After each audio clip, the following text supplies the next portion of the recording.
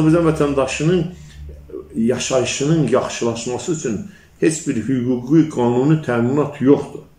Buna ki, normal ölkələrə, sivil ölkələrə, biz vətəndaşına xidmət edən ölkələrə, sosial təminatlı ölkələrə xas Azərbaycanda bir dənə institut qalmayıb. Dəyərli izləyicilər, Kanun 13 efirindən sizləri salamlayıram. Efirdə mən Şamiyəmin sizinləyəm. Bugünkü qonağım isə Azadlıq Partiyasının sədri Əhməd Oruçdur. Əhməd bəy, xoş gördük sizi. Xoş gününüz olsun Şamil bəy, minnətdaram. Təşəkkür edirəm. Əhməd bəy, yəqin ki, məlumatınız var. Yeni ilin ilk günü Yanvarın 1-də şəhid generalımız Polad Həşimovun anası Səmaya ananın sensasiyon e, müsahibəsi yayıldı. O oğlunun ölümündə hazırda baş qaragah rəisi olan e, Kərim Vəliyevi günahlandırdı.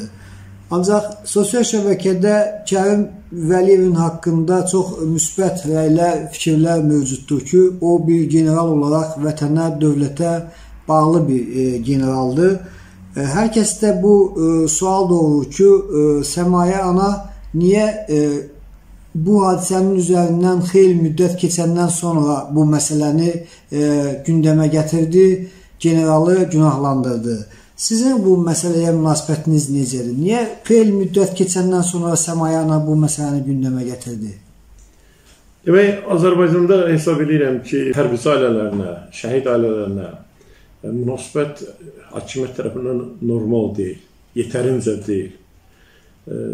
Hamıya bəllidir ki, insan vətən uğrunda şəhid olursa, bunun yaxınları ən əzizini itirmiş bir insan kimi, ən böyük vətən yolunda, millət yolunda bir dəyər kimi ona lazımi diqqətin, hörmətin göstərilməsini istəyirlər. Söhbət maddiyyətdən getmir, söhbət həm də mənəvi cəhətdən bu məsələlərdə həmin valideynlərin elə bil ki, itirdiklərinin əvəzində millətin, xalqın, hakimiyyətin bu məsələləri qiymətləndirdiyini, gördüyünü və bu münasibətini görmək istəyir.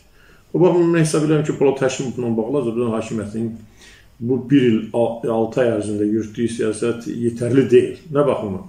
Sonra mən dəfələrlə təkid etmişdim ki, Azərbaycanda Bakıda ən böyük meydanlardan biri, ən böyük metro stansiyalarından biri Polad Həşimovun adına olmalı.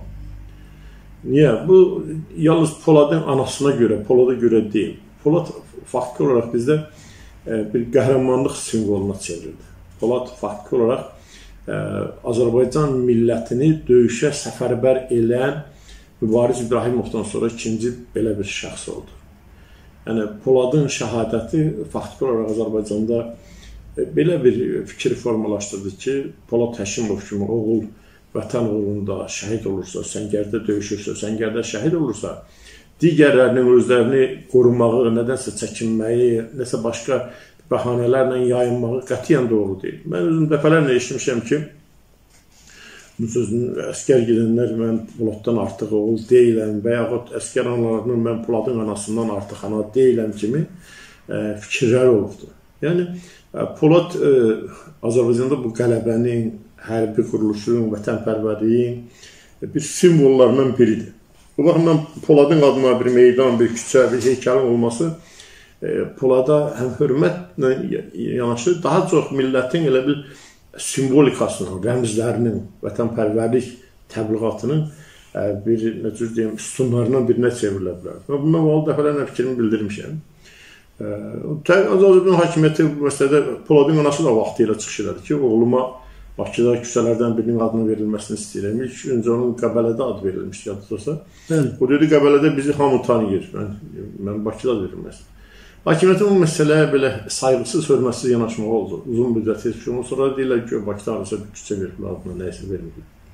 E, yəni o baxımdan e, üstə gəl, yəni Poladın dəfnində, digər məsələlərdə Azərbaycan hakimiyyətinin rəhbərliyinin iştirak etməməsi də doğru deyil.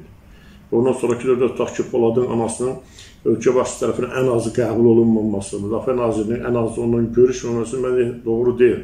Yəni biz hər gün general şəhid vermirik ki?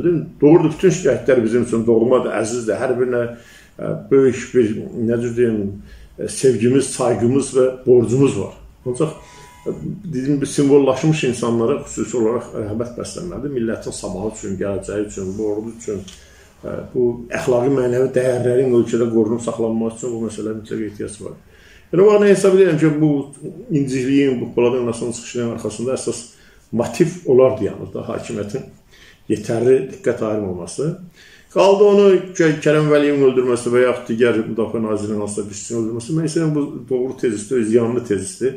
Mən bir paralel aparmaq istəyirəm. Vaxtilə Bayaz Təlimov belə bir fikir işlətmişdi ki, güya Xocalıda Azərbaycanlıların ölümündə bizim özümüzün də günahlarımız var da, bizim içimizdəki didişmələrin və s. məsələlərin. Və ermənilər ondan uzun illərdir istifadə edirlər ki, özləri etiraf edir ki, elə deyilmi?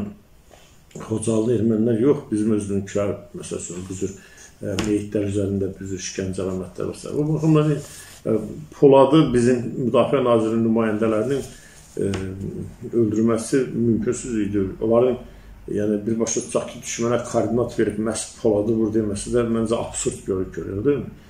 İkincisi Poladın yerinə vəzifəsinə keçmək onunla Polad onda qərar, qərargah rəisi idi bir korpusu. Mi? Kərim Bəliyev vaxt komandir korpusu idi məncə. Yoxsa Müdafiə Nazirinin müavini idi. Müdafiə Nazirinin müavini. Yəni onun yerinə keçməsi də bir qədər sən yəni tutaq ki, Poladora keçirmək ananın məntiqi odur, Poladora keçirmək istəyirmişlər. O da özü göz var imiş. Ona görə Poladı sanmır. Sən burada bu da inandırıcı görsən bir açıq deyil bir. Ancaq orada ananın dediyi bir faktor var ki, Polad istefa vermək istəyir, istefa siyasi yazısı, o niyə araşdırılmır? Araşdırılsın. Təbii araşdırılmalı. Ya mən hesab eləmirəm ki, Azərbaycan e, ordusunun rəhbəri Poladın e, qətlində e, belə maraqlı olublar. Azərbaycan ordusunun rəhbəri Azərbaycan xalqının milli azadlıq ideyasına, Azərbaycan xalqının o döyüş qabiliyyətinə uyğun olmadığı hamıya bəllidir.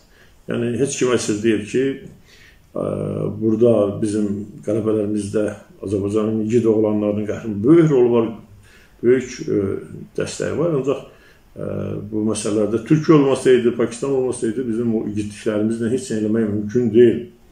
Yəni nə cür 18-20-ci illərdə Türk ordusu Azərbaycanda paytaxtın Gəncədən Bakıya daşınması Azərbaycanın müstəqil olmasında rol olmuşdu. İndi də 44 günlük müharibədə Türk ordusunun, Türk hərbi texnikasının, Türk komandanının, Türkiyə rəhbərliyinin həmin rolu, yeri var.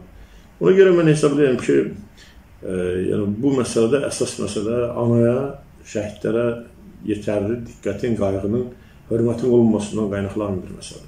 Amma bütün hallarda Əhməd bəy, e, burada bir ittiham var. Bu ittihama e, bir e, aydınlıq gətirilməli, rəsmi şəkildə bir reaksiya verilməli deyilmi? Eyni zamanda qeyd etdiyiniz kimi o e, istefa ərizəsini verdiyini deyib ana e, Polad Həşimovun.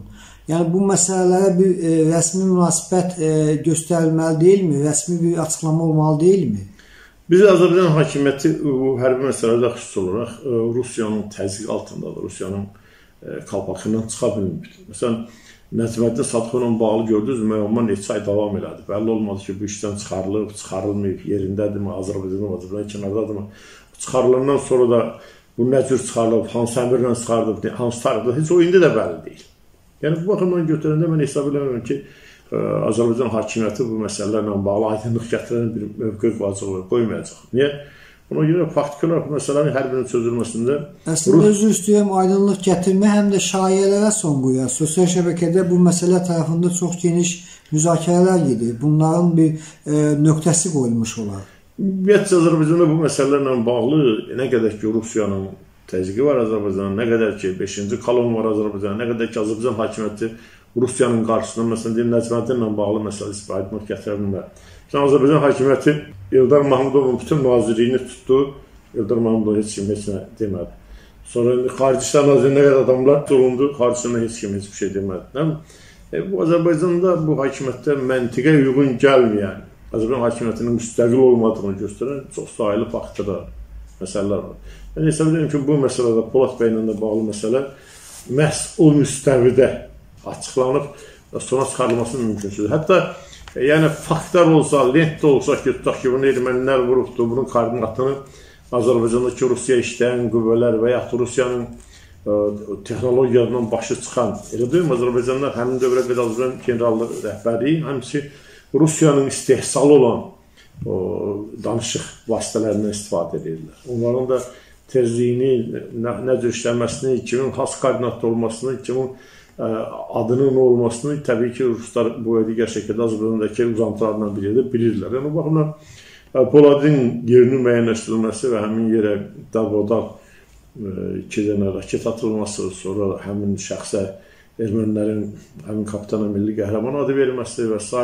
digər məsələlər fakt ortada idi. Yəni, bu baxımdan götürəndə e, mən hesab eləmirəm ki, məsələnin bu cür aparılması sona yetəcək və bir daha deyirəm, nə qədər hətta lent də olsa, şahidlər də olsa, Azərbaycanda bu məsələ bağlı dedikodular, söz söhbətlər davam edəcək. Niyə? Bu söz söhbətlərin davam etməsində maraqlı olan qüvvələr var Azərbaycanda və həmin qüvvələrin də əlini ayağını Azərbaycan hakimiyyəti yığışdıra bilmir. O qüvvələr kimlərdir? Sizin bir ehtimalınız varmı bu barədə? Rusiyanın 5-ci kolonu açıq şəkildə, onun bir təmsilçisi Nəcməddin Sadırov idi. Görürsünüz, onunla bağlı müəmmalar hələ davam edir. Azərbaycandadır, çıxıb, çıxmayıb, burada mülkiyyətləri qalır, qalmır, hansı statiya ilə çıxardılıb, niyə çıxardılıb, onunla bağlı araşdırma aparsa bəlli. İkinci Ramiz Meytev tut oturub Elmlər Akademiyasında, elə deyilmi, prezident deyilir həldə. Hamı bilir ki, bu Rusiyanın Azərbaycandakı çağınışını olub, uzun müddət məsələn bağlı. Hələ onun dində oturub onun hakimiyyət ölməsini gözləyirlər. Yəni, ə, təbii ki, bu güya Ramiz Meytev həyatda olmayan sonra 5-ci kolonun ləğvi deyil, o olmayacaq başqa birinin üzərinə hava eləyəcək, həmin funksiyanı yerinə yetirən. Bugünkü idarə etmə sistemi yoxdur Azərbaycanda, prezident aparatında və digərləri. Bunların bəlkə də 90% Rusiyanın razılığı ilə olan kadrlardır.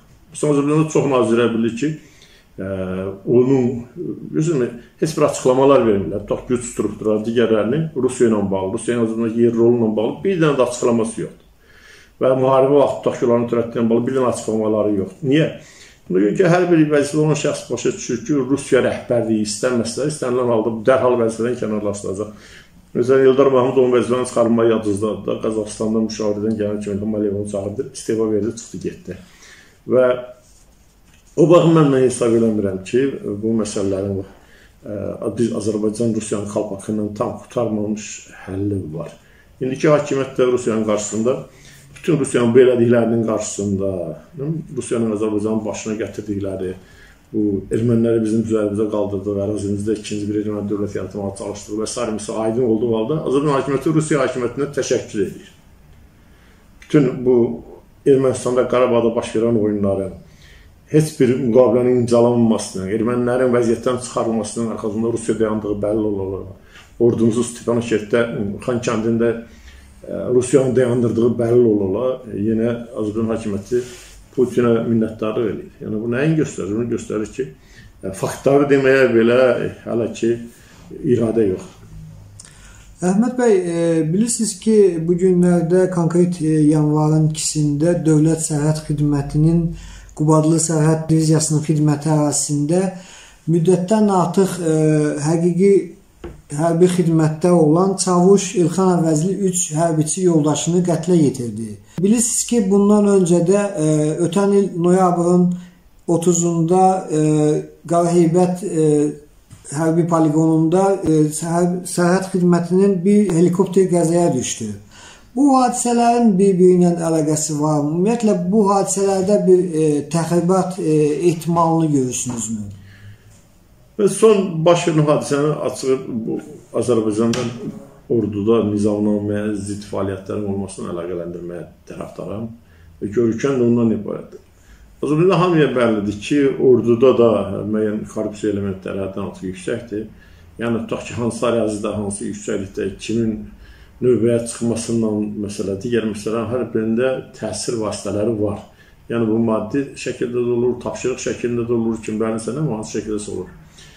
Və bu cür ağır postlarda tutaq ki, məsəl üçün mən bilirəm ki, e, sahibsiz hərbiçilər xüsusi olaraq istismar olunur. Yəni e, nizamnamə ilə tutaq ki, bu e, 8 saatda 2 saat yalnız döyüş növbəsində olması, o vaxt ki, 8 saatın 8-də olur, 24 saatda olan vaxtlar və s. Kimlərin əvəzinə həmin elə bir ki, posta çıxmaq da mümkündür və ya tutaq posta olan əskərlərin sayının nəzərdə tutulan, nizamda nəzərdə tutulandan aşağı olması da mümkündür. Yəni, elə bir ki, imkansız insanlar daha çox belə bir işlədilir bu məsələdə, çətin vəziyyətlərdə nəinki o imkanların böyük qismi ümumiyyətlə getmir, adı getsə də və digər məsələlərdə. Gedərsə də belə arxada belə ayrı-ayrı postlarda gizlənməklə, başını girməklə, günlük yola verməklə. O məsələ həmişə o ön cəbhələrdə xüsusi ağır rejimli e, yerlərdə ciddi nə cür mübahisələr səbəb olur. Tutaq ki, əsgərlər də bezirlər və bunları da həmin işə məcbur eləmək üçün komandir heyəti də həddən məsələn məcbur olur. Tutaq ki, komandir mən konkret bildiyim məsələn tutaq ki 92 nəfərin əvəzinə 8 nəfər əskər olan bir polisiya oldu mənim oğlum da orada iştirak edir təqribən. Məsələn aylarla həmin polisiyada elə bil ki 8 nəfər oldu. Onun 92 nəfərlik rotanın güya pozisiyası yoxdur. Hamısı aşağıda briqadada gizlənir, ya rəsm deyir komandir xeyrinə belə sonra gəlmir, nə isə belə şey. Yəni sözünüzdən belə çıxır ki, bu ə, e, həmin çavuşun zülmə dözməyərək bəli, üsyanıdır. Mən hesab edirəm bu faciə onun nəticəsində baş verir. Ya mütləq burada yoxsa normal bir insan sağlamlıq testindən keçir də bəskəriyə gəlir, gedib vətənin orada elə getməyə fikir olsa, bir şey olsa buralarda getməzdi də bu, yəni bir bəhanə ilə uzaq baş həbsə düşməzdi, düşərdi, getməzdi. Yəni gedir sonra burada ya nizamnamədən kənar ona qarşı hansısa başqa nələrsə ola bilər və yaxud həddən artıq çox yüklənmədən də həmin hadisələr baş verə bilər. Əlində silah olan insan da etiraz eləməyin yollarından biri nədən ibarətdir? Silahlı şəxslər arasında araşdırmalar məhz bu cür olur da. Məsələn, bu yalnız bizim orduya xasdır ki, bütün ordularda bu cür özbaşınlıqlar ola bilərsə, bu cürdə reaksiyalar olur. Ona görə də həmin ordularda silahlı insanlardan çəkinirlər və orada artıq nizamnamə fəaliyyəti Nur Bəyəçi. Harada ki, haqsızlıq, ədalətsizlik orada təbii ki, belə şeylər olacaq. Mən hesab edirəm ki, bu sərhəd qoşunlarındakı o məsələlərlə bağlı, tapşırıqla, digər məsələlərlə, maddiyyətlə, insanların yetərincə olmamasından, çətin şəraitlə bağlı məsələdir və yaxud da şəxsi baxımdan şəxsiyyətinə toxunan hansı hərəkətlər olur, ona görə o reaksiyonu verir. Amma sosial şəbəkədə bunu o helikopter qəzası ilə əlaqələndirənlər, bu məsələdə də bir təxribat e, ehtimalı düşünənlər var. Təxribat elementini mən e, hesab edirəm ki, bu məsələ ilə xütr əlaqəndirilir. Bu da konkret icraçı bir şəxsdir, Azərbaycan övladıdır, elə deyilmi? Özü könüllü belə çağırışın əskəriyə getmiş bir insandır.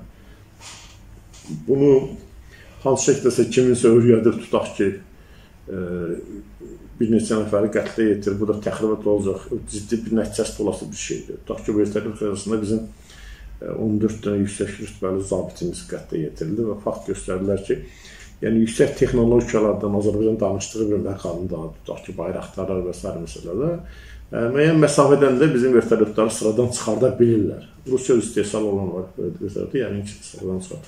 Bu ehtimal düşünürəm. Burada mən ə, təxribat elementini tam istisna eləmirəm, ancaq heç görünmür. Yəni burada mənim üçün təxribat faizi çox aşağıdır, bəlkə heç yoxdur. Əhməd bəy, başqa bir məsələyə diqqətinizi çəkmək istərdim. E, bu gün günün ən aktual sualı Azərbaycan vətəndaşı üçün çörəyin qiymətinin bahalaşmasıdır. Çörəyin qiymətinin e, çox kəskin bahalaşdığı sosial şəbəkədə də insanlar arasında da qeyd olunur. E, məlumata görə 500 qramlıq çörək 50 qəpik, 650 qramlıq çörək 65 qəpik olacaq. Bu artıq zavod çörəyi deyilən çörəkdən söhbət gedir. Onun kisəsi isə 25 manatdan 35-38 manata qalxdığı barədə məlumatlar yayılıb. Baxın, indiki halda hökumət bilirsiniz ki, minimum əmək haqqını qaldırdı, bir sıra e, müavinətləri qaldırdı, eyni zamanda e, pensiyanı artırdı. Yəni bu artımlar, e, bu e, bahalaşma ilə necə uyğunluq təşkil edəcək? Birincisi o pensiyanın artırılmasına bağlı məsələ həqiqətə uyğun deyil. Pensiya yalnız aşağı həddə artırılır. Tutaq ki, kimsə 260 manat pensiya alırsa, təqaüd elə 260 da alacaqdır. Kimsə 240-dan aşağı alırsa, onların pensiyasını 240-a qaldırırlar.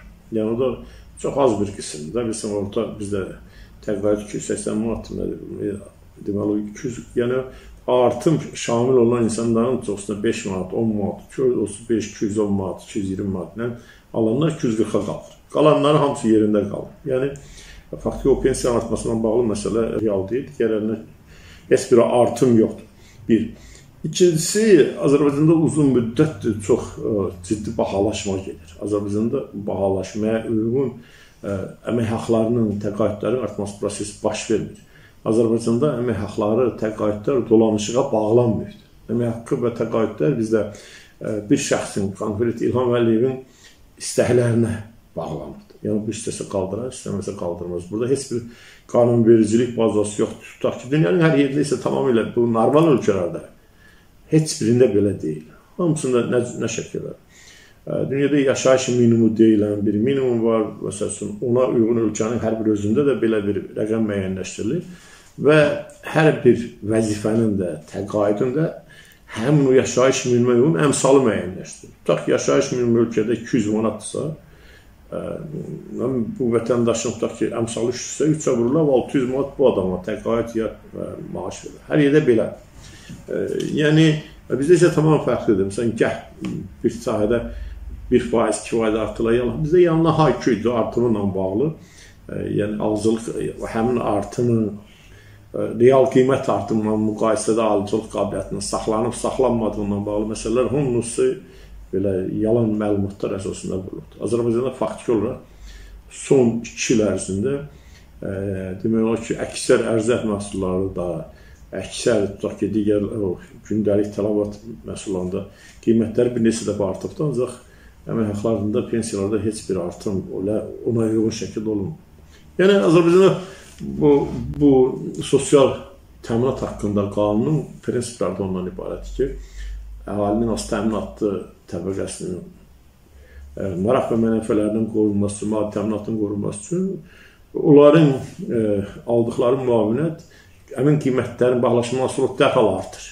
Yəni avtomatik olaraq hər ayın sonunda hesablanır ki, tutaq ki, insanın yaşaması üçün zəruri olan ərzaq zəmbilinin qiyməti budursa, artıq ona uyğun şəkildə yenidən təqaüdlər hesablanır məsələdir. Yəni Azərbaycan bu baxımdan da anormal bir ölkədir.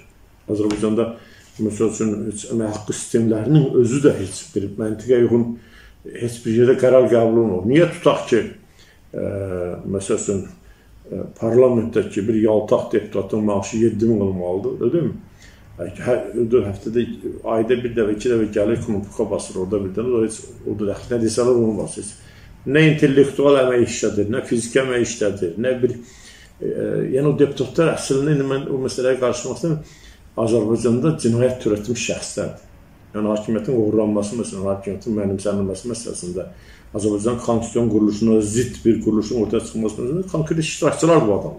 Yəni bunlar hər birinin fəaliyyətinin tərkibində cinayət və cinayətə görə bunlar cəzalanmalıdır. Buna baxmayaraq bunlar 7 min, 6 min maaş alır. Gündəlik bir müəllim e, dərs deyirsə 250-300 manat maaş alır, 400 manat maaş alır. Və yaxud digər məsələlər, tutaq ki, e, bir şey deyim, sən bizdə şəhid müavinəti 11 min manatdır. 30 ilə yaxındır ki, bu. 30 ilə qiymətlər dəfələrlə qalxıb. Dünyanın heç bir yerində şəhid müavinətini 11 min manat əslində heç bizə e, nə qədər eləyirik? Dollar hesabına götürəndə 7 min eləmir də, məsələn, təqribən deyil mi? Heç bir yerdə şəhid kompuluna, məsələn, 7 min ə, dollar şəhid pulu yoxdur. Məsələn, fikirləşin ki, ə, bir deputatın 2 aylıq maaşı bir şəhidin qan pulundan çoxdur. Müharibə veteranları üçün də yeri gəlmişkən 80 manat 80 manat alınacaq. 1 il 6 ay bunu niyə vermədilər? 1 il 3 ay niyə vermədilər? Onunla bağlı heç bir açıqlama yoxdur. Yəni Azərbaycanda bu məsələlərin heç biri ilə bağlı e, belə ağıl kəsən cavab suallara cavab yoxdur. Azərbaycan əslində ağılsız bir şəkildə idarə olunur da. Bir kimin istəyinə uyğun şəkildə kim nə istəyir, məntiqlə dünyanın inkişaf etmiş ölkələrinlə, inkişafda olan ölkələrlə, Azərbaycana uyğun ölkələrlə heç bir müqayisədən onların məsələn təcrübəsindən Azərbaycan istifadə olunmasına söhbət getmir. Və onun nəticəsində gəlir bax bu şəkildə ortaya çıxır. İndi yalandan hakimiyyət televiziyalarının yandaşlarının gözünün göy insanların da təqaüdləri də artdı, əmək haqqı da artdı, minimum haqqı da artdı və s. Normalda dolanırlar. Ancaq bu yandan sosial şəbəkələrdə görürsünüz ki, minlərlə, on minlərlə insan yardım istəyir. Hələ bunu xüsusi təminatlı olmalı olan təbəqələrdə, bax ki, qazilər və digərləri bunu istəyirlər. Dolanış olsun, heç bir şeyləri yox. Bu gün mən hesab edirəm ki, Azərbaycan hakimiyyətinin bütün bu fəaliyyətləri çox yaradıcı, çox bərbad bir vəziyyətdədir. Azərbaycan xalqının ə, e, istək və arzularına uyğun deyil.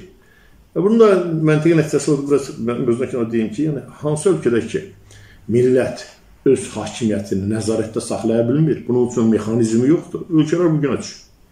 avtoritarizmə yuvarlanır, tədricən avtoritarizm dalınan rüşvətə, korrupsiya, diktatura məsələləri gəlir. Bax görürsünüz indi bu gün internet haqqında, digər media haqqında qanunda zadı düzəlşir. Nə ilə bağlıdır bu?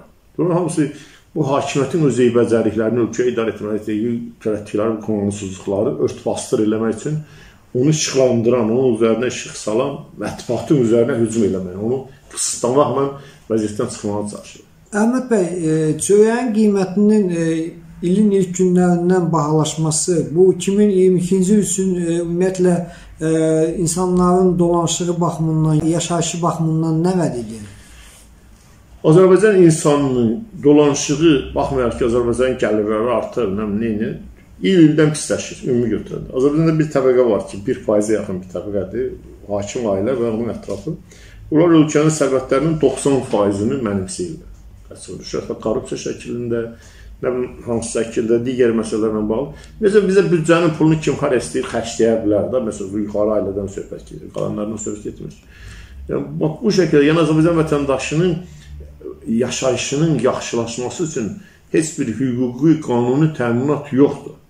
Bugün ki, normal ölkələrə, sivil ölkələrə, biz vətəndaşına xidmət edən ölkələrə, sosial təminatlı ölkələrə xas Azərbaycanda bir dənə institut qalmayıb. Azərbaycan cəmiyyətinin öz hakimiyyətinə təsir eləmək, onu çəkindirmək, onu ram eləmək, onu cilovlamaq mexanizmi yoxdur. Bunlar da nə istəyir, onu eləyirlər. Məsəl üçün, e, hakimiyyətdə olanların, e, tutaq ki, hər bir ölkədə 100 milyonluq, 200 milyonluq, 500 milyonluq mülkləri ortaya çıxır, deyilmi? Bunların əlaltılarının yaxınlarına, bunlara qulluq edənlərin də yenə ayrı-ayrı ölkələrdə məsələn, e, məsələlər ortaya çıxır. Özləri Allah Tutaq ki, vətən uğrunda döyüşmüş, canını fəda vermiş insanların, hə, qazilərin isə hə, problemləri gün-gün artır. Konkret bir misal çəkim. Sən Gəncədə baş verən yadınızdadır ki, bir şəhid anası icra hakimiyyətindən görüşə bilmədiyin, özünü dərman açıb öldürmək etməyə gəldi. Nə oldu onun axı? Bir icra başçısına nə soruşan oldu, nə gözün üstə qaşın deyən oldu və bəlli oldu ki, o icra hakimiyyətinin özünün deyirlər, evladının 30 milyonluq Londonda mülkü var. Özünə bax bu gündədir. Bu konkret bu görsənin e, Azərbaycanlıların dolanışığının görsənişidir. Azərbaycan xalqı e, bir daha deyirəm. Tək Azərbaycan xalqına aid deyil bu. Bütün dünyanın inkişaf eləmiş millətlərinə aid. Bax fikir verin dünyaya. Hansı ölkələrdəki millətlər öz hakimiyyətini nəzarətdə saxlama mexanizmi əldə ediblər. Yəni real seçki var. Seçilən şəxs xalq qarşısında hesabatlıdır. Bilir ki, xalq bunu seçməyəcək, yəni araşdıracaq O ölkələrdə rifah var, normal dolanışıq var. Yaponiyasını götür, Koreyanı götür, Avropa ölkələrini götür, Amerikanı, hansı ölkələr ki, bax belə seskelə gedir, ölkələrdə dolanışıq. Azərbaycanda yoxdur belə bir şey. Get-gedə əksinə bu hakim ailənin, digər e, hakimiyyəti idarə edən şəxslərin, onların əlaltılarının daha da varlanması, əhalinin isə daha da çətin şərtlər altında yaşaması gözlənir. Çox sağ olun Əhməd bəy, təşəkkür edirəm. Minnətdaram.